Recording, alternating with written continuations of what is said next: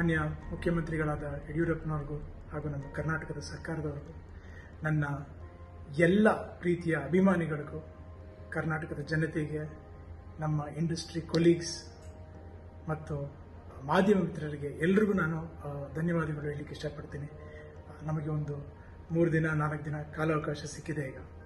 ಆದರೂ ಈ ಸಂದರ್ಭ ಹೀಗಿದ್ರು ಇವತ್ತೂ ನೀವು ನಿಮ್ಮ ಕುಟುಂಬದ ಸಮೇತ ಮಕ್ಕಳನ್ನ ಕರ್ಕೊಂಡು ಎಲ್ಲರನ್ನೂ ಕರ್ಕೊಂಡು ಸಿನಿಮಾಗಳನ್ನ ನೋಡಿದ್ದೀರಾ ಸಿನಿಮಾನ ನೋಡಿದ್ದೀರಾ ಇಷ್ಟಪಟ್ಟಿದ್ದೀರಾ ಆ, ನಮ್ಮನ್ನು ಪ್ರೋತ್ಸಾಹಿಸಿದ್ದೀರಾ ಅದೇ ರೀತಿ ನಾಳೆಯಿಂದ ಮೂರು ದಿನ ಹಂಡ್ರೆಡ್ ಪರ್ಸೆಂಟ್ ಆಕ್ಯುಪೆನ್ಸಿ ಇದ್ರೂ ತಾವೆಲ್ಲರೂ ಹುಷಾರಾಗಿ ಮಾಸ್ಕ್ ಬಳಸಿ ಸ್ಯಾನಿಟೈಸ್ ಮಾಡಿಕೊಂಡು ನಮ್ಮ ಸಿನಿಮಾ ನೋಡಿ ನಿಮ್ಮ ಎಲ್ಲ ಪ್ರೀತಿ ವಿಶ್ವಾಸನ ನಾನು ಯಾವತ್ತೂ ಆ, ಮರೆಯಲ್ಲ ತುಂಬ ತುಂಬ ಥ್ಯಾಂಕ್ಸ್ ಧನ್ಯವಾದ సబ్స్క్రైబ్ చేయండి Telugu stop dot com YouTube channel. Please subscribe to Telugu please subscribe Telugu stop